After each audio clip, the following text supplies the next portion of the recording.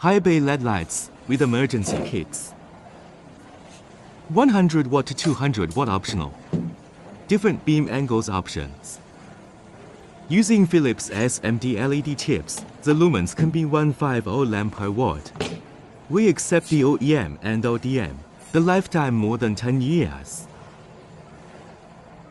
The emergency wattage can be 10 watt to 20 watt. And the duration is 1 hours to 3 hours options. And we also provide the different solutions according to the requirements. Normally, the high bay LED light will be working with 1 1 R volt or 2 2 R volt.